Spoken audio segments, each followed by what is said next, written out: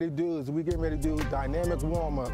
And basically dynamic warm-up is like preparing your body for any kind of explosion drills that you're doing, any kind of explosive movement. It's just the same thing uh, as if you have a car and it's cold outside, you don't just get in your car, start up and drive. You know, you got to let the car warm up and therefore then you can start driving. The same way with your body. Dynamic drills is to warm up your body to prepare for any kind of explosive movements that you're going to be doing in your exercise. All right, the first drill we're going to do is what we call running half speed up to the cone and you're bringing your heel up, extending out, coming backwards. And mainly what this will do, this is to help loosen up your hamstring and help loosen up your quads. All right, set, go. They're going half speed up, coming back, they're bringing their heel up to low part of the glutes, extending out, working them hamstring. All right, let's do it again. Set, go.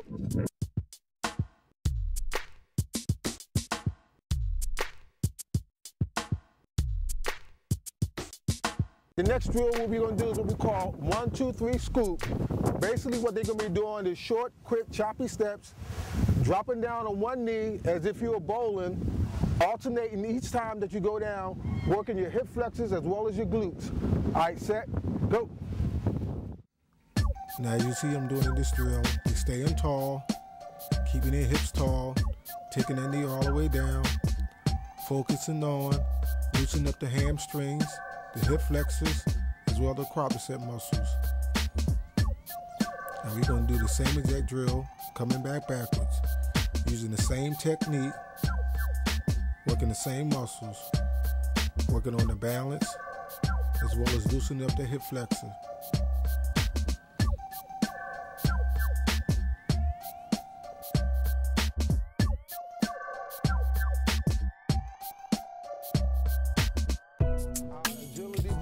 Or speed boxes, whichever one you want to call it.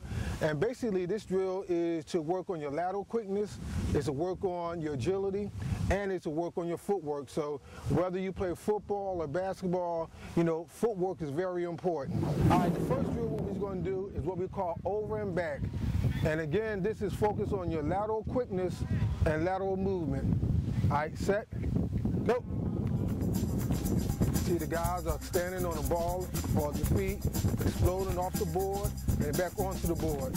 Five, four, three, two, go.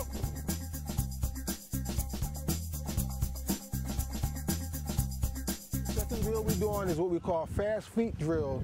And this is to work on your, your, your, your, your quickness, is work on your explosion as well as work on your footwork.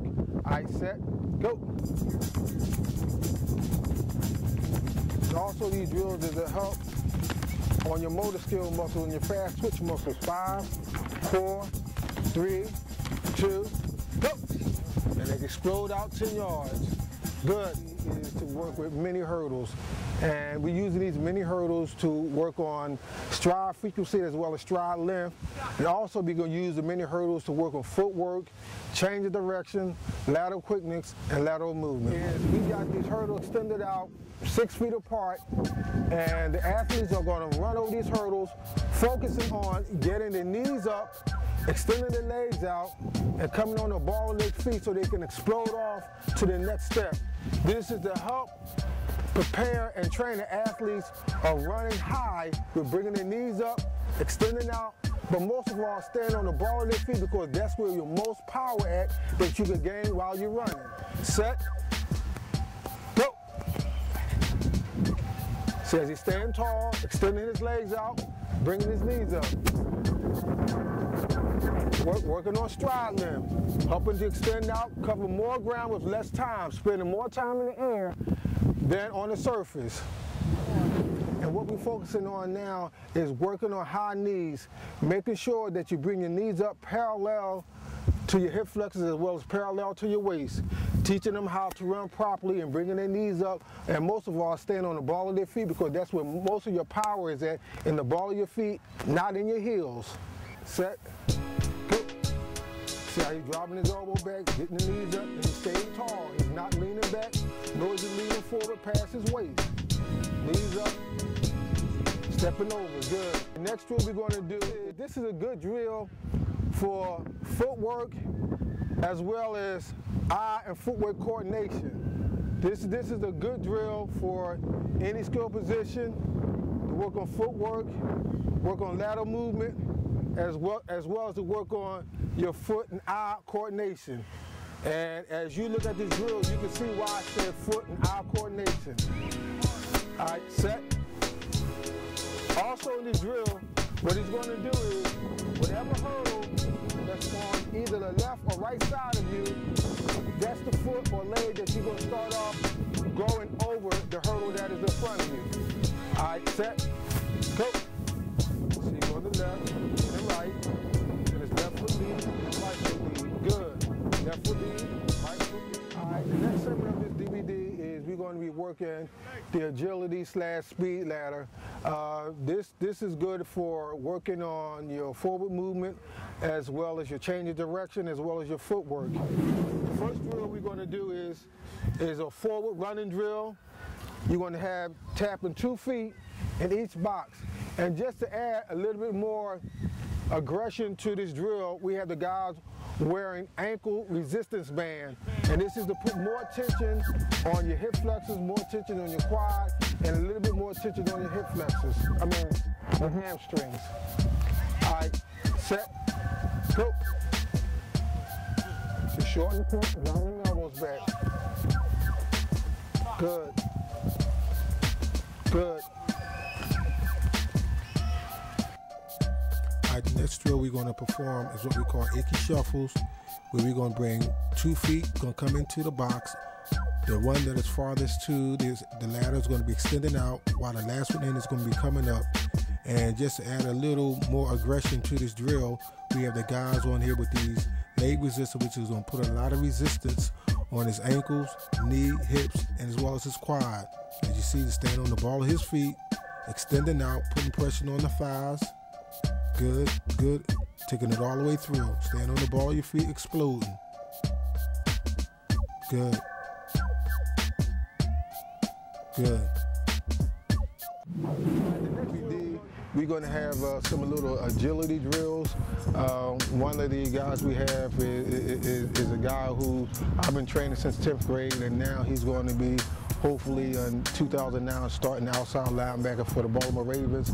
Along with him is a good friend of his. He played middle, line, middle linebacker from Clark, Atlanta, and they just going to demonstrate a couple of drills uh, as far as uh, you know lateral movement, explosion, and quickness. All right, he's going to ladder work, fire up, catching that back, come right out the backfield, out on the side. Good, good. This is a good drill for linebackers when they're trying to get the running back coming out on the flat on the pass, or either going on a sweep. All right, set, go. Working them hips and them quick feet, explode up to the line. Good. Next drill is what we call a lateral quickness drill. drill. Working on your hips, working on your feet and your footwork, going over the hurdle. Then once we get to the inner hurdle, you exploding back, going the opposite direction. And this is a good exercise and good drill for any skill position player that is working on change of directions. All right, set, go. Five, four, three, two, up. Good, good, good. The Baltimore Ravens, Philadelphia's own, and linebacker. It started out at George Washington, you know, as simple as Coach Cohen grabbing me from walking around in, in the school and, and, getting the opportunity to play the game. So I started at the at the age I was about a freshman, you know, and from there just elevated to college, to playing for Syracuse University, and then getting the chance to get on with the Baltimore Ravens. Hard work beats talent when talent doesn't work hard. You know, and that's that's just what I approached the game with. You know, I approached it hard in the weight room, in the weight room, off the field as far as training, and I was fortunate enough around my my freshman year to link up with Tone Fortland, you know, a speed coach, a very wonderful man, which you should know right now if you're paying attention to this. You know, he gave me he gave me the speed and all of the tools that I needed and an explosion in the game just to elevate my stock, as you said, and to get me to where I'm at right now. You know, so from 10th grade until 10th grade, what's that about 15, 14 to 24 years old, me and him still going hard, you know, so it's, it's something that's necessary. If you want to elevate yourself in this game, you got to work hard on it.